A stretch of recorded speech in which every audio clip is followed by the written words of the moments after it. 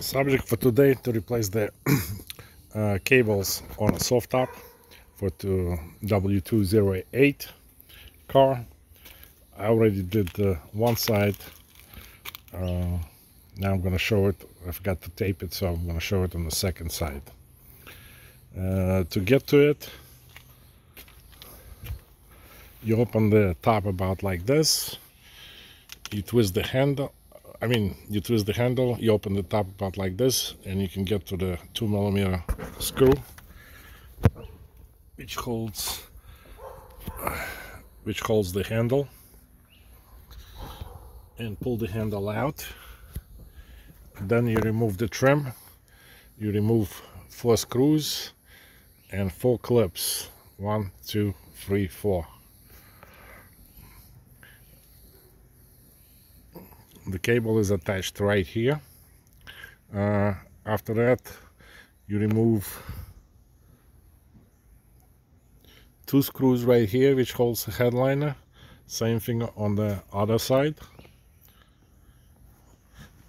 Then you remove it from here. Just pull it off and unclip first the second and third bar the cable goes from here to the third bar. Through those little pockets. You gotta put it through through the pocket. Like on this side. And it comes out over there.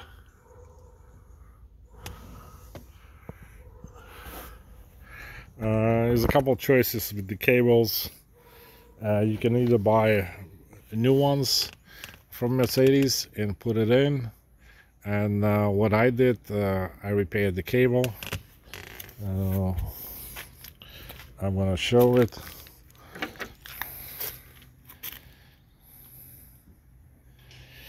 Uh, I just welded the nut and then I just filed it down to the size so it fits through the hole over there uh, the spring is little worn out. It's okay. I think I used maybe four or five millimeter nut. And that's about it. Uh, okay, let me sneak this cable through and I'll show you how it's hooked up. Okay, now that I got the cable through, as you can see, I'm gonna try to show it as much as I can. Over here, it comes out of this square hole. There's a hole right there. Now, at the end of it, is a little plastic thing which holds this end in there. You put it over the cable and you just stab the thing together and then you push it in. But be careful you, you do not force it and that uh, these squares line up with the cutout in the rail. I'm just gonna do it and then just show it the result. Okay, I got this thing in here. As you can see, the slot make sure it fits in. Everything should be done by hand. And uh, that's it uh, for this one.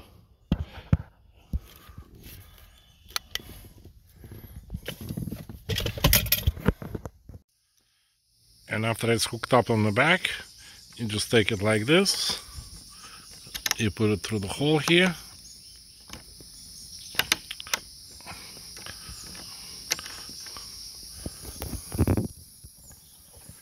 and you tie the knot.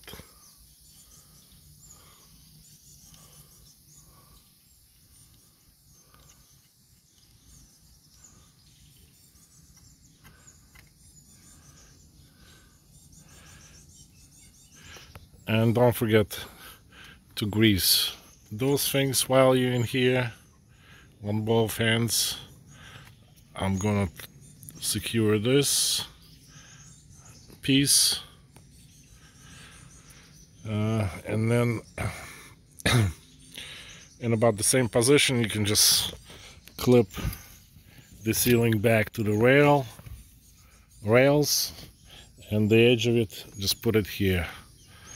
Uh, once I do all that I'll bring it back to show you and then the only thing that's going to be left is the cover here cover and the handle and that's it the job is going to be done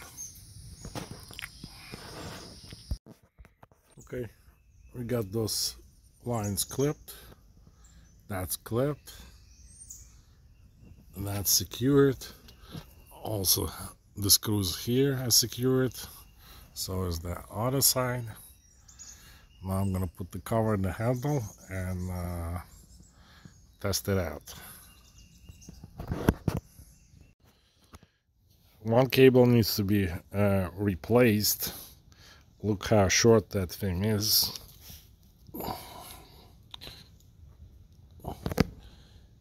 Keeps on breaking at the end. It's probably short good maybe two inches clo or close to it. This is the part number for it for replacement. Okay I'm gonna put it in and see how it works out. There's a little bit of tricky to put this handle back in here uh, the best way to do it is just as you see it lower it all the way down. Then you put then you put hold the handle by hand like this press it all the way down because this is spring loaded. Press it all the way down turn it 90 degrees while you're holding it down from above. Stick the pin in there I think it's like 2.5 or 3 millimeter pin.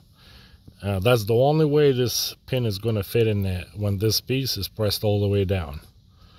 Uh, and then you just secure it and that's it. And the top is fully operational now. The cables are installed. Uh, actually let's try it out but I'm sure it'll work fine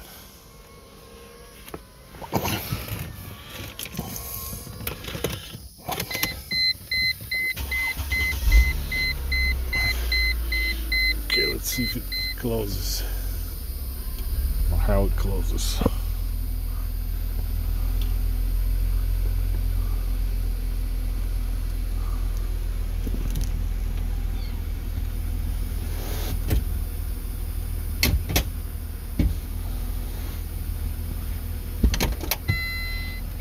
Now we'll take the handle press it turn it pull it and close it and we're all done as you can see.